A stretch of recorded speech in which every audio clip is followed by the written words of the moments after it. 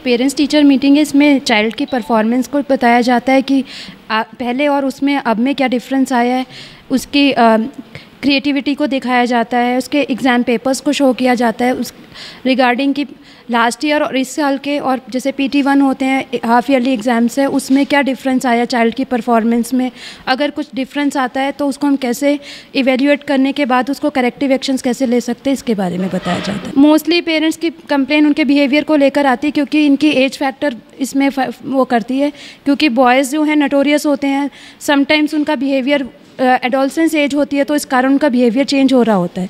तो इसके कारण वो रिएक्ट जैसे घर में कई बार उनका बिहेवियर नहीं होता अच्छा तो वो कंप्लेन आती है। अदरवाइज़ नॉर्मली वैसे तो ट्वेल्थ और इलेवेंथ के बच्चे सिंसियर होते हैं तो उनकी कंप्लेंट्स कम ही होती हैं। इस टाइम पे हम लोग मोस्टली यही एडवाइस करते हैं कि बच्चों को अच्छे से मतलब कि ट्रीटमेंट दिया जाए। उनकी फ़िज़िकली इस टाइम पे चेंजेस बहुत हो रहे होते हैं बॉयज़ में भी और गर्ल्स में भी तो उनको, उसके अकॉर्डिंगली उनको न्यूट्रिशियस फ़ूड प्रोवाइड करें, उसके अलावा उनको बाहर घुमाने लेकर जाएँ। साथ ही उनके साथ कंसे, वो काउंसलिंग करें उनकी बैठ के कि वो उनका बिहेवियर इस तरीके से चेंज क्यों हो रहा है? उसके रीजंस क्या हैं? या तो स्कूल में कुछ प्रॉब्लम है मे बी उनके फ्रेंड सर्कल अच्छा नहीं हो सकता। इसके अलावा ये भी हो सकता है कि घर में कुछ एटमोसफेयर में प्रॉब्लम है तो उसके रिगार्डिंग हम सजेशंस देते हैं। बच्चा कितना आगे बढ़ रहा है, कितना नहीं, हम तो क्या है कि बच्चे पे अपनी जो भी उम्मीदें होती हैं, वो सब बच्चों के ऊपर ही टिकी होती हैं। अब बच्चा क्लास में फ़र्स्ट आता है तो पेरेंट्स को प्राउड ऑफ़ होता ही है। काफ़ी अच्छा है अच्छी पढ़ाई भी अच्छी होती है काफ़ी टीचर्स वगैरह सब अच्छे हैं।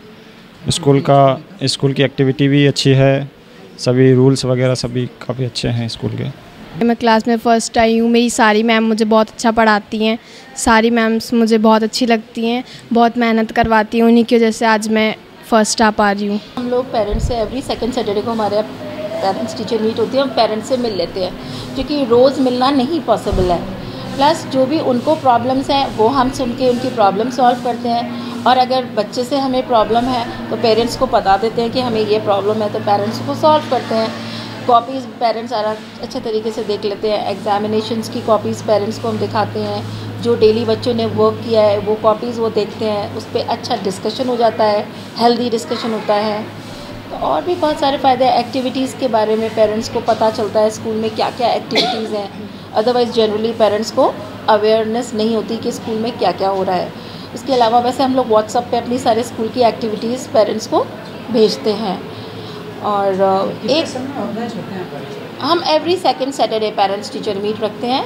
और अगर स्पेशली हमें पेरेंट्स को बुलाना है तो हम एक्स्ट्रा उनको डायरी नोट या मैसेज के थ्रू पेरेंट्स को बुलाते हैं। बच्चों के बारे में रिज़ल्ट के बारे में पता चलता है कि भाई उनकी प्रिपरेशन कैसे चलती है, पढ़ाई कैसे चलती है, तैयारी कैसे करते हैं बच्चे टीचरों का कितना सहयोग रहता है डायरेक्टर मैडम का कितना सहयोग रहता है, वो कैसे टीचिंग करवाते हैं टीचर्स उनकी अगर कुछ किसी चीज़ में कमज़ोर है, बच्चा तो उसके बारे में हम उनको बताते हैं। अभी तक जो करते हैं, उसमें और ध्यान देते हैं टीचर कि भाई हमने कंप्लेंट दी है उनको भाई इसमें ये वीक है, या इसका कुछ और चल रहा है, उसके बारे में वो बताते हैं। शुरू से बच्चे यहीं पढ़ रहे हैं।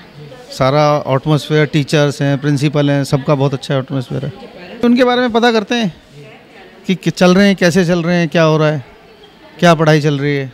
हमारी स्कूल अच्छी है और टीचर्स भी बहुत अच्छे हैं यहाँ के सब सब बच्चों को समझ के फिर बाद में उनको अपना पूरा अच्छे से बताते हैं और स्कूल में भी अच्छे से प्रोग्राम्स स्टडीज़ वगैरह सब अच्छे से होती है।